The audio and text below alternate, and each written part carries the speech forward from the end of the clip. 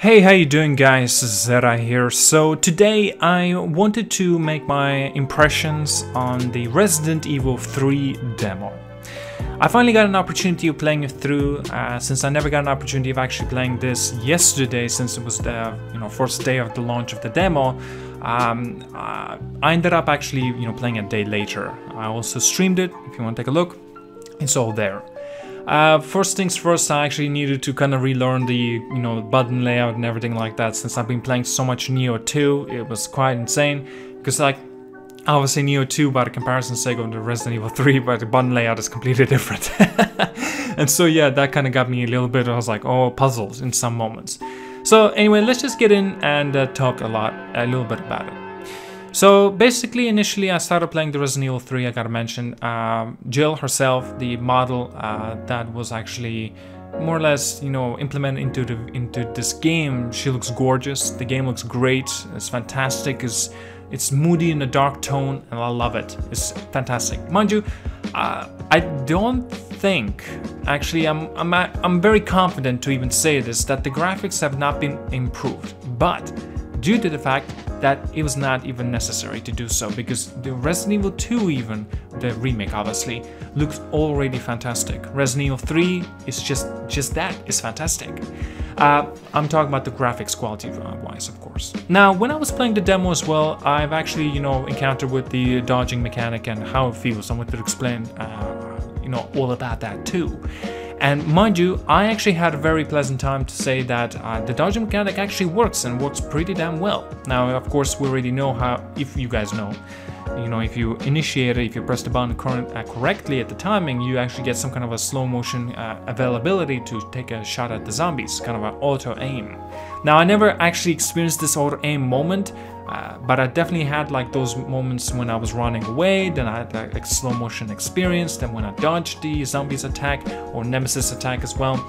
And uh, now that was great, but like we never got an opportunity seeing this something like that uh, in the Resident Evil 2 remake, and it makes sense. But talking about the nemesis, I definitely need to get into the fact of Nemesis. It seems a lot more, basically, it's Mr. X, but far more beefier and uh, buffed up character. And of course, he's gonna be way more overpowered. And uh, he's got his tentacle shit, basically, you know, grabbing Jill, you know, stopping her way through, uh, you know, continue on her journey anyway. But basically, he can run as, as a madman. He can jump as freaking, I don't know, an Olympic champion or so say. And uh, yeah, he's also can turn the zombies into, look, I forgot the name, I do apologize, basically that looking tentacle creature that comes out of their head and uh, basically more dangerous against Jill. And uh, basically regarding that, the character himself is more or less just Mr. X but much more beefier. He can be annoying as hell, and he is annoying as hell, but even more annoying than Mr. X. A lot of people have their own subjective thoughts regarding this, that Mr. X was always on your ass, he was constantly uh, there, always trying to hit you and stuff like that. It was kind of getting irritating, very repetitive for a lot of people. Missed, and the Nemesis is going to be a similar vibe. In fact, he'll be far more this time and uh, again because of the things I already have mentioned because you know makes him a much more bigger character much stronger OP character.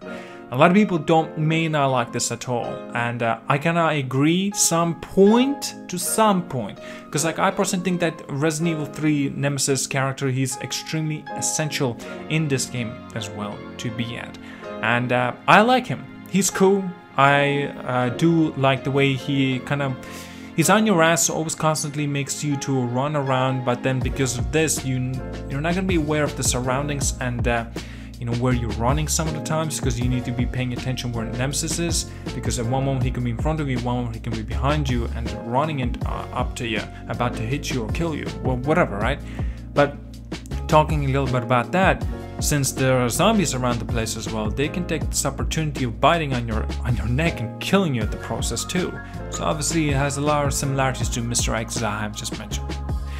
The demo was a little weird. I need I definitely need to talk a little bit about that. I've actually also mentioned the live stream. The way I kind of kind of ended abruptly was so weird. At first, when I started playing the game, I went to different areas, you know, I uh, I grabbed the hose. That was the main point of the whole thing. Basically, you need to grab the hose to clear uh, clear out the uh, the fire with the water, and uh, I initiated the checkpoint. I never knew that, obviously. I never knew I needed the hose for this uh, to clear out the water. I thought I had to break some things or whatever.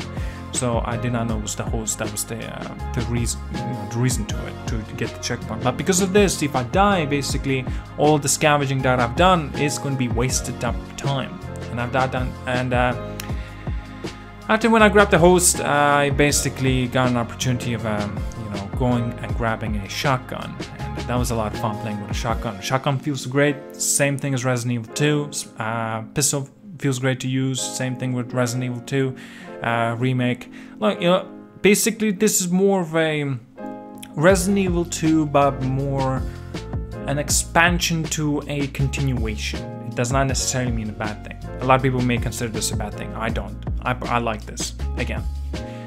Resident Evil 2, uh, 3 demo was great.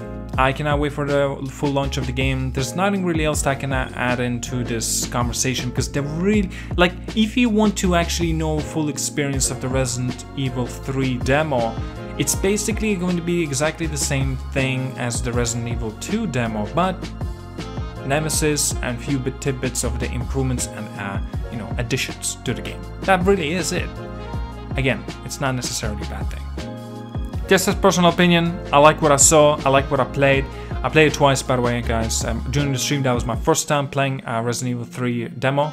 And then I did off stream for a second time just to see you know bits of things like what, what could have I've done differently just to see and experience it as well because I kind of liked it. And I did like it.